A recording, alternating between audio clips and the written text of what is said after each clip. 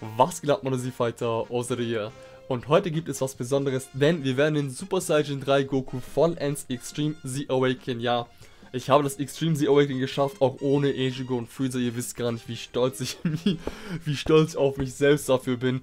Nachdem ich Ejigo und Freezer gezogen habe, habe ich mir gesagt, ey, ich werde ihn besiegen. Auf jeden Fall. Ohne ihn. Ich habe es letztendlich geschafft. Und deswegen werden wir hier zum einen den Super Saiyan 3 Goku zu seinem letzten Extreme Z Awaken verleiten, denn wir wissen ja, man kann ihn Step by Step Extreme Z Awaken. Ich bin schon auf der letzten Stufe, heißt, hier wird sein Mar äh, Charakter Max Level steigen auf 140, Super Attack auf 15 und seine Passive wird sich ändern. Dann werden wir uns die ganze Karte an sich anschauen, aber wir werden ihn auch noch auf 100% bringen. Richtig, euer Osa, du fackelt da nicht lange rum und bringt ihn direkt auf 100%. Ich würde sagen, wir tun ihn erstmal Extreme Z Awaken an der Stelle bringen ihn auf 100%, schauen uns die Karte an und dann tun wir ihn auch natürlich showcasen und gucken uns an, ey, wie ist der Dude eigentlich nach seinem Extreme Z Awaken geworden. Nun, wenn wir rein von den Stats erstmal ausgehen, das sah geil aus, by the way. Äh, sein Maxel ist jetzt auf 140. Äh, er ist bei mir 135. Ich werde ihn noch auf Maxel bringen und Max Essay gleich. Sein hat sich schon geändert. Nun gibt er Guilty-Type-Charakteren Key plus 3 auf 470%. Ulti an der Stelle macht nun immens Damage und verhindert Verteidigung des Gegners stark. Und dann, wenn wir das einmal hier draufklicken und, und, und, und ihn uns, what is los, man, näher betrachten dürfen, dann sehen wir hier, boom. Er bekommt fix immer 70% auf die Verteidigung at Start of Turn, das hat er immer.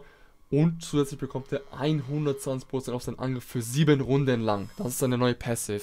Ich habe ihn auf Level 15 Crit gebracht, Level 11 Additional Attack, soweit es geht. Warum auf Crit? Ähm, weil er hat, sag ich mal, keinen Bonus auf seine Ulti oder so. Hatte schon Great Lower Staff, aber das ist jetzt nicht, was er mitnehmen musste. Äh, da bin ich statt auf Level 20 Additional Attack und Level 6 Crit, da habe ich lieber den Crit, äh, die Crit-Schiene genommen und bin auf Level 15 Crit gegangen, auf Level 11 Additional Attack, wie ihr es hier seht. So, jetzt bringen wir den Dude noch auf 100% und zwar nehmen wir da mal Heal mit. Und ihr seht schon richtig, dieser Dude bekommt 7000er Stats, weil er äh, zu den ältesten Karten gehört. Ab Super Gogeta und davor, beziehungsweise ja, Super Gogeta und davor, alle Charaktere bekommen im Dude-System 7000er Stats. 7000er Stats. Deswegen lasst mich den Dude sofort Max Level bringen, Max Super Attack und uns direkt in seinem Showcase anschauen. Alles klar, und wir haben hier das perfekte Szenario, denn wir sind im Double 120% Lead von Super Agility, Super Saiyan 4 Vegeta. Es geht auch einen Ticken besser, wenn man äh, Super Saiyan 3 Goku nämlich in dem Majin Buu Saga Team spielt mit Double Super Vegito. Das sind 130%, zusammen 130%. Ich habe ihn leider nicht, deswegen machen wir das mit dem vierfachen Vegeta. Heißt, wir haben jetzt zweimal 120% auf den Angriff und durch Super Saiyan 2 Vegeta und dreifachen Age Goku sind alle Link-Skills getriggert, alle Angriff-Link-Skills, die da wichtig sind. Wir haben zum unter anderem Golden Warrior, Verteidigungsgegner minus 2000 verringern, plus ein Key, Saiyan Warrior Race, 700 auf Angriff, Super Saiyan 10% auf den Angriff, ohne Flash, ja, Key plus 3, Limit Breaking Form, plus 2000 auf den Angriff, wenn er ultet und mit Fierce Battle 15% auf den Angriff. Heißt, alle Links sind hier getriggert, wir haben Typen Vorteil. Extreme Z Awaked Super Saiyan 3 Goku, lasst uns ihn ganz kurz seine Stats anschauen. 100%. Ja, wir haben gesagt 7000 auf jeden, also im Durchschnitt 7000 auf die Stats. Wir haben hier fast 19.000 HP, 18.000 Angriff und 13.000 Verteidigung bei diesem Dude. Das ist fast LR-like, Leute. Wirklich fast so viel fehlt da überhaupt nicht dazu. Deswegen bin ich auf seinen Damage-Output an der Stelle gespannt. Wie gesagt, bestes Szenario, let's go. Schauen wir uns den Schaden an der Stelle an.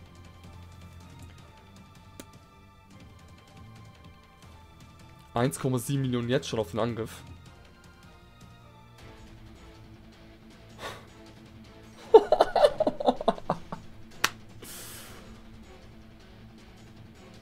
Vier Millionen Crits. 4,3 Millionen Crits. Von einer Oldschool-Karte. Der hat Extreme Awaked 100%. Kommt mit 4,3 Millionen Crit daher. Literally, GG, ohne Crit wären das um die 3,4 Millionen. Weil wir haben gesehen, 1,7 Millionen hat er seinen Angriff gehabt bei der Ulti. Und eine Typenvorteil haben wir das Ganze verdoppelt, sehr effektiver Schaden. Also, mm, dieser Süd macht auf jeden Fall Schaden. Extreme Zero Awakening, total gelohnt, 100%, so oder so. Ähm, jetzt würde ich ihn gerne in ein Team nehmen und ihn in einem Dokkan-Event testen. Let's go. Okay, wir sind im Dokkan-Event von Super Saiyan 4 Goku, da haben wir über zwei Runden den Typenvorteil. Und ich habe versucht, das Team mehr oder weniger auf ihn abzustimmen, Charaktere mitzunehmen, die viele Links-Sits haben, aber auch zwei Supporter mit reingenommen, weil er selbst Key braucht und wir das gerne mitnehmen per Supporter. Deswegen würde ich sagen, die Super Saiyan Vegeta hier, lassen wir mal mit ihm auf jeden Fall in einer Rotation. Er gibt durch seine Passive Key plus 2 auf den Angriff auf Verteidigung 25%, wenn mich alles täuscht. Yes. Und er hat zudem unter anderem Super Saiyan zum Beispiel, äh, Golden Warrior und Saiyan Warrior Race. Let's go. Also, hier noch kein Typenvorteil. Wenn wir dann auch sehen, wie so sein neutraler Schaden ist von dem Extreme Z Awake, den Kakaroto. Hier kommt er auch schon. 1,8 Millionen, okay. Haben wir Angriffssets hier. Und wie ist unser Damage? 1,2 Millionen. Äh, Additional Ulti, nice, Additional Ulti. Nicht wundern an der Stelle, dass es so, wenn er ultet, ähm, es sieht ein bisschen anders aus als sonst, ja. Das sind so, wenn ich das so nennen darf, Blitze um die Zahlen herum. Das ist, weil er Extremely Awaked wurde. Das ist nicht kein Anzeichen für Crit. Crit ist immer noch, wie wir es kennen. Da steht dann Critical dran und wird so quasi Gold, golden. Ähm, aber ja. Boah, also er hat ihn gerade alleine auseinandergenommen. krasser Dude. Krasser Dude an der Stelle. Gut, wir machen aber gekonnt mal weiter. Und zwar, ja, ich kann es halt nicht verhindern, mit den Jungs hier nicht zu ulten, weil die linken sich gut. Wir haben Supporter drin mit Paaren. Jeder wird da ulten, macht nichts.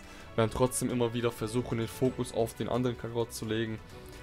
Er hat schon auf jeden Fall viel gezeigt. Ja, One-Shot hatte die erste Runde geklärt. Mit zweimal 1,2 Millionen war das, glaube ich. Richtig. Ah, mit der Ulti. Also, wenn ihr es, wenn ihr es, also was ist wenn ihr dazu in der Lage wart, ich sag's mal so, weil das Event ist mittlerweile schon offline, äh, im, als ich das hier aufnehme. Aber es soll nicht heißen, dass es nicht wiederkommt. In JP kam das wieder, heißt, in Global wird das auch wiederkommen. Wann genau das wieder kommen wird, wissen wir leider nicht. Aber seid ihr getröstet, das Extreme Z Awakening, Extreme Z Battle vom Super Saiyan 3 Goku wird natürlich wieder erscheinen.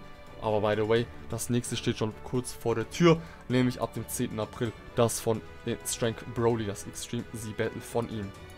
Gut, dann let's go. Jetzt haben wir Typenvorteil. Guck mal, wie viel Schaden er jetzt macht. Ähm, 264.000 Angriff jetzt schon ohne Ult. Das ist ridicolo. Ich finde das aber geil. Was haltet ihr davon? Was haltet ihr von so einem Extreme Z Battle, Extreme Z Awakening, dass die alten Charaktere genommen werden, verbessert werden und deutlich besser werden, immens gut werden? Und ähm, welchen Charakter wollt ihr da noch sehen? Welchen Charakter wollt ihr noch sehen? Mein persönlicher Favorite, 2 Millionen. Mein persönlicher Favorite wäre, dass der Tech Margin Vegeta ein Extreme Z Battle bekommt. Ich würde das übertrieben cool finden.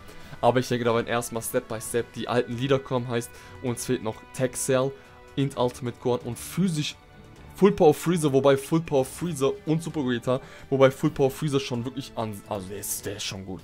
120% auf den Angriff. Ich denke, wenn er ein Extreme Z Battle Awakening bekommen wird, dass da nicht so viel an ihm geändert wird. So minimal wahrscheinlich.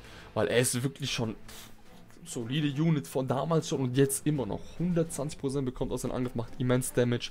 Eines der ersten Charaktere war das, dass er äh, der immens Damage gemacht hat. Also ich denke, bei ihm wird es ein bisschen minimal ausfallen. Aber gut, anyways, wie gesagt, mein Favorite wäre der Tech Margin Vegeta. Schauen wir mal, was noch auf uns zukommen wird. Ich hoffe jetzt die zwei Dudes eskalieren nicht. Okay, gut, keine Additional Ulti. Wir haben aber noch deinen Vegeta auf der anderen Seite. Hm, genau. Wenn euch das Ganze bis jetzt schon gefallen hat, Ladies and Gentlemen, dann lasst auf jeden Fall ein Like da. Wenn ihr auch überwältigt seid von dem Kakarotos, von dem Super Saiyan 3 Extreme Z Awaked 100%, dann tut ihnen und mir einen Gefallen und vielleicht auch euch selbst. Und drückt auf den Abo-Button, damit ihr nichts verpasst in Zukunft. Aktiviert die Abo-Glocke. An der Stelle würde mich auf jeden Fall freuen. Vielen lieben Dank. Und hier kommt Kakarot schon wieder rein. Und dann wird er das Ganze auf jeden Fall finishen. Wenn nicht, haben wir noch Vegeta da hinten. Und der räumt dann auch auf. Da habe ich kein Problem damit. Aber overall total zufrieden mit dem, was sie mit ihm gemacht haben. Natürlich, natürlich ist es schwer, äh, ihn Extreme zu awaken. Man braucht gewisse Charaktere. Wir wissen, was Extreme Z Battle war. Er ist nicht jedem vergönnt, sage ich mal. Man braucht gute Charaktere. Aber ich denke, man kann das vielleicht ein bisschen verstehen, ja. Er ist wirklich sehr, sehr gut geworden. Und ich finde das immer gut, dass man für etwas hart arbeiten muss. Äh, dass man dann, damit man das dann bekommt quasi. Damit man sowas Gutes bekommt, sollte man schon eine gewisse Leistung an, das, an, an, den Tag bringen. Aber ja, das ist ein anderes Thema. Ja, über die Schwierigkeitsstufe, über das Extreme 7S kann man sich streiten. Ich nehme es einfach mal so hin. Er beendet das Ganze mit einem 2 Millionen Crit. Und ich hoffe auch an der Stelle, das Ganze hat euch gefallen, das ganze Showcase zu ihm. Wenn ja, gebt den Ganzen ein Like. Lasst mich in den Kommentaren wissen, was ihr von ihm haltet. Und wir sehen uns das nächste Mal. Peace.